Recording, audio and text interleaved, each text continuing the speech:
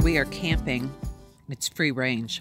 So ranchers pay the government to let their cattle free range on public lands. And um, there's a cow over there. Can you hear it? It's hilarious. and the people in this group are just standing around watching it. And there's two over there. And uh, I don't know if the cow's in labor. I have no idea. I don't know if it's a it's a bull or a, a heifer. Oh, it's a bull. Oh, I bet he's well, for lack of a better word, horny. Because that's a bull over there too. That's a bull. Oh, maybe they're like gonna have a. Here he goes. Look, see him? it's like a freaking circus around here. Anyway, my dogs were losing their minds, but they the cows moved, so it's not so bad. I guess the one walking off is the one who lost, the dejected cow or bull. well, he's a cow, but he's a bull cow. Anyway, I thought that was funny and I thought I'd share it with you. Bye, Mr. Cow. Hi, everyone. Lainie here, and I am stuck again. Yes, yes, I am stuck in the mud. I'm in Flagstaff because I need to get some work done on the front end of the bus that got damaged the last time I got stuck. And they couldn't fit me in until the 12th. And so I decided to just camp here outside of Flagstaff. I was hoping to be behind the pilot in Bellemont, but surprise, surprise, that road is closed. It looks like they're building a subdivision there at the front of that road, and that whole entire road where so many of us nomads camp completely shut down. Closed, barricaded, can't get down that road. So I came further down that road that runs along 40 toward the west, so west of the pilot. And I found a spot, which you'll see later in this video, that I was going to try to camp in before it got really muddy. Um, and it was covered in trash. And I've been having some pain issues for the last several days, and I didn't want to stay there because I didn't first of all, have the energy or the I didn't feel well enough to pick up all the trash, and you'll see it was a lot of trash. I don't even know if I have enough trash bags to put all of that trash in. And then I didn't want the dogs getting in it. So I decided to come further down the road, and you guessed it. so all the snow is melting, and the roads are very muddy and rutted. And I decided I didn't want to go any further down the road. And I thought, well, I'll just turn around. And it looked like it would be okay, that I could just drive really fast through the muddy part and turn around and go out this other way that's equally muddy. And nope, um, my back end, no problem. It's the front end that's stuck. And so I'm just going to let the universe figure out what to do because I have no clue. I'm just going to sit here. At least I'm off the main road. Um, there's a couple of people camped back here. They can still get past me to get out, so that's not a problem. And I guess maybe, unless something else happens, I'll just stay here until it dries out. And fortunately, I have a little time to kill before I have to go in my appointment with the mechanic to get the estimate on the front end. And I also have some time to kill before my doctor's appointment. So, yeah, I am here for the time being until something changes. All right, I'm going to add more to the video, so I'll see y'all on the other side. Peace. Hello, everyone. I am in Bellemont, just west on 40 from Flagstaff. This right here, when I was looking for a camp spot, this is what I found.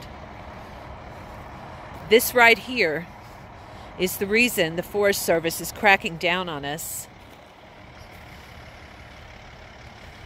And making it almost impossible for nomads anymore. This makes my heart hurt and it makes me want to cry.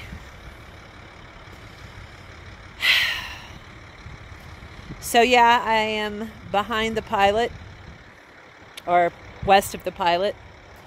And where we usually camp is nomads behind the pilot. That road is now closed completely. And they are building houses, it looks like, a subdivision. And so we're left with very few places to choose from. And then we find this. And this right here, folks, this is why. And I know this isn't nomads. These are probably homeless people who had an encampment here, and when it got too cold, they just abandoned it. There's several tents, tarps, beds, shoes. Look at that. Shoes. Lots and lots and lots of trash.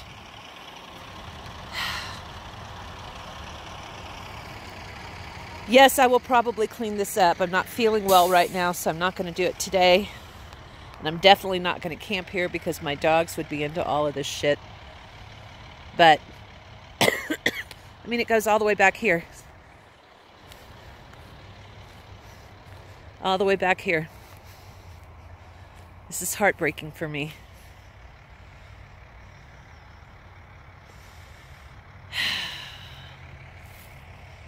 yep heartbreaking. All right, I'm going to continue my journey trying to find a camping spot, and then maybe some friends and I will come down here and clean this up in a couple days when I'm feeling better. Pack it in, pack it out, leave no trace. So this is what is right outside my door. I found some 2x4s off the side of the road. Apparently other people have gotten stuck hi Django, and have used these to get themselves out. I am currently using it as a bridge. And there, there it is. Back tires are pretty okay. It's these two front tires. And it didn't look like this when I pulled in. It looked more like this. And I guess the weight of my bus just, yeah. So, um, my thoughts are A, I wait here until it dries up, but it's pretty wet, so I might be here a week. And then B, this gentleman came down the road. He said he would try to pull me out if he could, but he didn't think his truck could handle the weight of my bus, so he apologized. He said he's pulled out a lot of people. But he said because it's going to be below freezing tonight, that we will get a nice freeze. And he suggests that I straighten my wheels early, early in the morning before. What are you dogs doing under the bus in all that mud? Ugh. You should see the floor of my bus. It's completely covered in mud. Anyway, he suggested that before the sun comes up, or right as it's coming up at dawn, that I take advantage of the frozen ground and straighten up my wheels and back right out of here. This guy, my neighbor Jay, he's going to be leaving uh, here in a few minutes. And so he suggested that I back up onto the road right here and then go forward and pull into his space because his is hardcore, solid ground. And so that's what I'm going to do. And keeping my fingers crossed that this happens. Peace.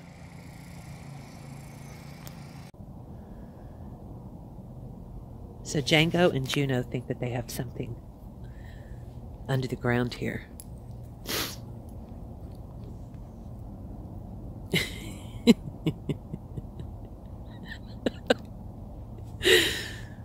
what is it, Django?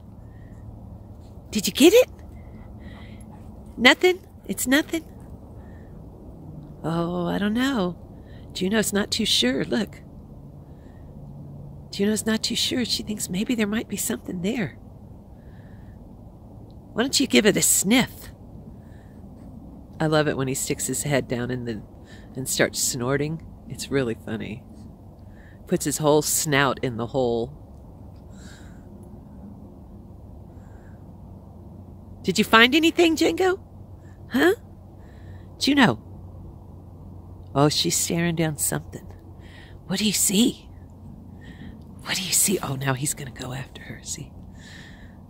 She's just determined to find a squirrel or a chipmunk or a mouse or something.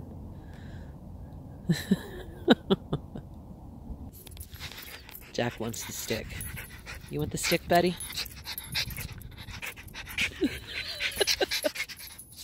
You want the stick? Is this, is this what you want? This this right here? This right here? This? This? and now Django's gonna get it.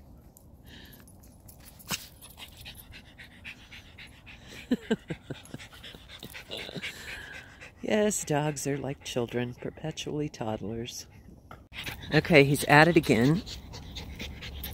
Yes, Jack, I'm getting the stick. I'm getting it. Django has, look, he's got his head down in the hole. He's so hilarious. He's to get that hole big enough that Juno can fit her whole body in it. Look at him.